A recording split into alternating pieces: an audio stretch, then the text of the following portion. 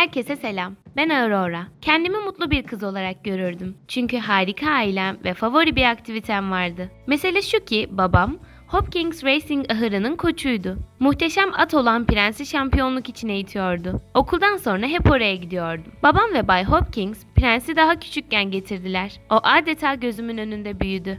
Bu yüzden ona çok bağlandım. Babam prensi kendi gezdirip şampiyonluğa eğitti ve ünlü Hopkins atlarını geride bırakarak çarpıcı sonuçlar elde etti. Ahırda yaklaşık 40 at vardı. Bu yıl prens 3 yaşına girdi. Bu zamana kadar her türlü başarıya ulaştı.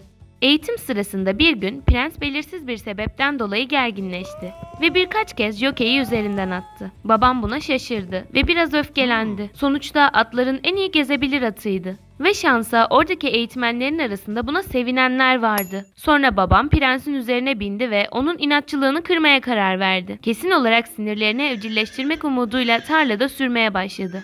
Bil amca babamı durdurmaya çalıştı. Ama babam onu dinlemedi. Her şey göz açıp kapayıncaya kadar oldu. Prens bir anda durdu ve babamı beton zemine düşürdü. Bil amcanın korkunç yüzünü gördüm. Antrenörlerin yüzü gülüyordu. Prensin arkasından top bulutu kalkıyordu. Geriye kalan her şey bir rüya gibiydi. Ambulans arabası, annemin yüzü, cenaze töreninde siyah giyen insanlar ve Bay Hopkins'in konuşması, annemin depresyonu, üzücü günler. Bu olaydan sonra annem birkaç kez bana ahıra gitmeyi ve özellikle de prense yaklaşmamı yasakladığını söyledi. Prensi daha sonra bir hücreye aldılar. Ama sahibi Hopkins veterinerlerin yardımıyla onu normale döndürdü. Buna sebep olan şeyi bulamadılar. Tabii ki annemin yasağını çiğnedim ve gizlice ahırlara gittim. Orada eski ahmak amca Bill'le daha yakın bir ilişki kurdum. Prensin eğitmenliğine babamın yerine Steve isimli bir adam aldı. Birkaç at yarışı düzenledi ve prens her zaman ortada sıralarda bitiş çizgisini geçti. Sonra Steve, prensi yedek bir ahıra taşıdı ve ondan tamamen kurtulmayı teklif etti. Prense sürekli bakıyordum ve sorunun ne olduğunu anlamaya çalışıyordum. Prens, ne oldu acaba? Bil amca onunla konuşmamı öğrenmem gerektiğini söyledi. Denemeye başladım. Prensin ne dediğini şu an anlamaya başladığımı hissettim. Steve'in verdiği yetmiyor ama ben verdiğimde zevkle yiyordu. Tekrardan iyileşmeye ve rahatlamaya başladı. Cesaretimi toplayıp Bay Hopkins ve Steve'e yaklaşıp prensin özel ilgiye ve özel bir diyete ihtiyacı olduğunu söyledim. O zamanlar şampiyonluklar tekrar gelirdi. Hopkins şaşırdı ve Steve'e bir kuruş bile değmez demiştin değil mi diye sordu. Steve onayladı. Sahibi bana prensi at yarışı için hazırlamam için 10 günlük bir süre verdi. Ve kendimi jockey olarak denedim. Motive oldum. Ve ahır atlarını test yarışında 10 saniye geride bıraktım. Steve buna sinirlendi.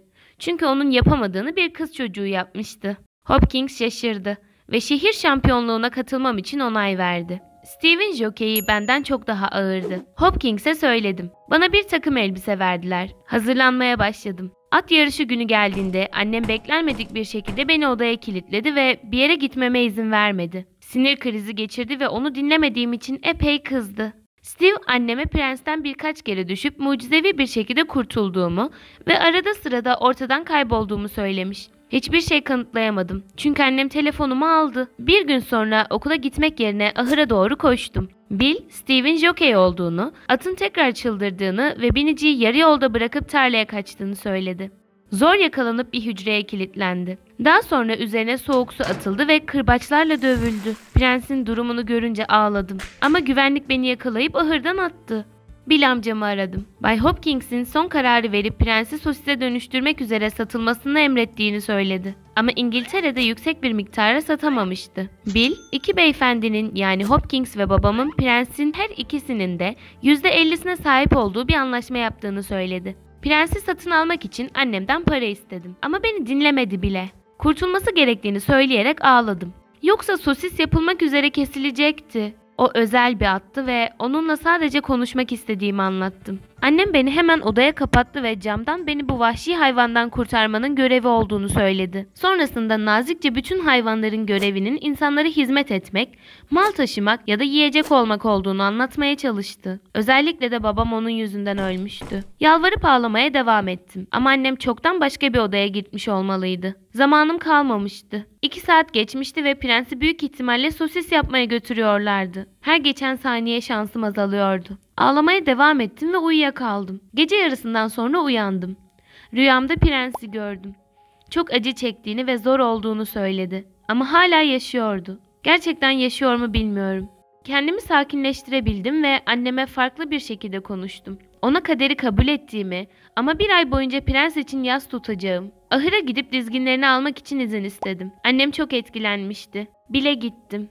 Bil garip bir şekilde sakindi. Prens hala hayatta mı diye sordum. Ölmeyi hak etmediğini, özellikle de sosis halinde olduğunu söyledi. Acı çekmemem için sakinliğini bana aktarmaya çalıştığını hissettim.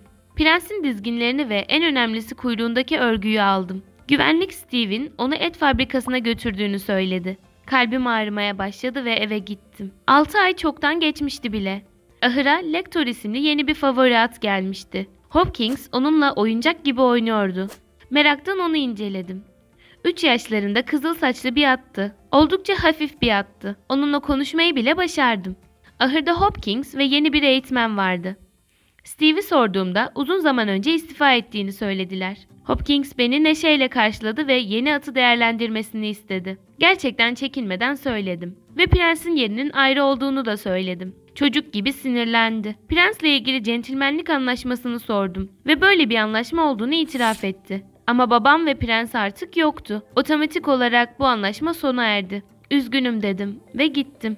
6 ay sonra İngiltere'den televizyonda canlı yayında gördüklerimle hayrete düştüm. Bir anlığına Nasih adında bir aygırın benim prensim olduğunu düşündüm. Kuyruğunu ve yelelerinin koyu renkli olmasına rağmen karakteri aynıydı. Nasih'in birinciyi atışını ve tarlaya kaçışını izlemeye başladım. Orada bir şekilde yakalandı ve götürüldü. Bu videoyu sitede aramaya başladım ve bulup izledikten sonra emin oldum. Bu prens. Videoyu bir flash sürücüye indirdikten sonra bile gittim ve onunla birlikte Hopkins'in ofisine gittik. Videoyu birkaç kez gözden geçirdi ve bir noktada prensi tanıdı. Hopkins hemen İngiltere Birincilik Federasyonu'ndaki arkadaşını aradı ve Nasih hakkında bir sertifika aldı. Onun sahibinin bizim antrenör Steve Douglas olduğu anlaşıldı. Nasih'e zaten yarım milyon sterlin teklif etmişti ve bu fiyat artacaktı. Heyecanlı Hopkins tahminlerini yüksek sesle anlatıyordu ve bir başını salladı. Yani Steve, prense bilerek işkence etti. Sonuçlarını düşürdü ve böylece Hopkins onu terk etti. Sonra sosis dükkanına götürür gibi yapıp onu İngiltere'ye gönderdi ve kendisi bir ay sonra sağlık nedenleriyle istifa etti. Hopkins tabii ki de Steve'in dolandırıcılığına kızdı. Şimdiye kadar bu ihtimal üzerinde duruyordu. Bana teşekkür etti ve prensi geri getirirse yarışmalarda jockey olmama izin vereceğini söyledi. Ve antrenör olarak Billy'yi işe aldı. Prensin yarısının babama ait olduğunu söylemeye cesaret ettim. Yani şu anda o yarı kısım benim. Hopkins bunu kabul etti. Sonra sadece Tanrı'ya güvenerek prensin biyometrik verileriyle tanımlanmasını beklemek zorunda kaldım. Bu dava yaklaşık 3 ay sürdü. Bir noktada soruşturma bir çıkmaza girdi. İşte o sırada prensin kuyruğundaki örgü işe yaradı. DNA testiyle tamamen sonucuna varıldı. Steve gözaltına alındı ve prens İngiltere'den ahırımıza getirildi. Prens sadece bir hayvan da olsa, güzel gözlerinden damlayan gözyaşları onun bir ruhunun ve aklının olduğunu kanıtladı. Hopkins'le anlaştığımız gibi ben jockey oldum ve Bill amca da prensin kişisel antrenörü oldu. Sonuçta Bill, Yaki kabilesinin bir kızıl derilisiydi ve atlar hakkında çok şey biliyordu. Tabii ki Kuzgun Aygır Prens eyalet şampiyonu oldu. Sonra tüm ülkede ve dünyada iki kez olimpiyat şampiyonu ve dünya şampiyonu oldu. Birkaç milyon dolar teklif ettiler ama ortak sahibi olarak satmayı kabul etmedim. Bir arkadaşınızı satabilir misiniz? 1 milyon için bile. Hopkins buna çok sinirlendi ve o talihsiz beyefendi anlaşmasını lanetledi. İşte benim arkadaşım Prens'le başımızdan böyle bir olay geçti. Siz hiç dünya şampiyonu yetiştirdiniz mi? Ve en önemlisi lütfen arkadaşlarınızı satmayın. Herkese merhaba. Benim adım Çağla. Tüm kız arkadaşlarım bir araya geldiklerinde hakkında konuştukları erkek arkadaşları var. Bir araya gelip sürekli onlardan bahsederler ve tartışırlar. Ama ben bu konularda her zaman uzak kalmayı severim. Çünkü arkadaşlarıma tam anlamıyla yakın olamadım. Benim hiçbir özelliğim yok. Ben sıradan bir kızım. Pek alışılmadık ismim olduğunu kabul ediyorum. Soda içmeyi aynı zamanda şişmanlamamayı isterim. Tam kızların kıskanç ve kötü görünüşleri gibi. Ama tüm bunlar bana göre değil. Tamamen farklı nedenlerden dolayı ben birçok şeyi tolere edemiyorum. Tüm hayvanlar, kediler ve köpekler çok sevimli görünüyor. Ama ben onlardan zarar göreceğim diye yaklaşamıyorum. Sadece hayal ediyorum. Son zamanlarda çocuklarda kurbağa gibi egzotik hayvanlarla ilgilenmek modaydı. Hatta örümcekler ve hamster gibi ama ben bunları hayal bile edemem. Bunu nasıl yaptıklarını düşünüyorum sadece. Çünkü ben görünce hemen bir metre uzaklaşıyorum. Ama benim merak ettiğim şey neden örümcekleri seviyorlar? Garip bir şekilde sürekli onlarla karşılaşıyorum. Her yerdeler. Sonra üstüme tırmanabilirler, çantama girebilirler. Ders sırasında tavana çıkıp koluma düşebilirler.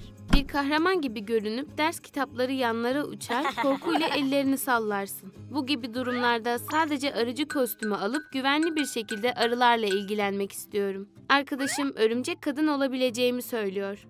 Ama ben bunu istemiyorum. Sakin ve basit bir hayat istiyorum. Ama son sınıfta Salih adında zengin bir çocuk geldi.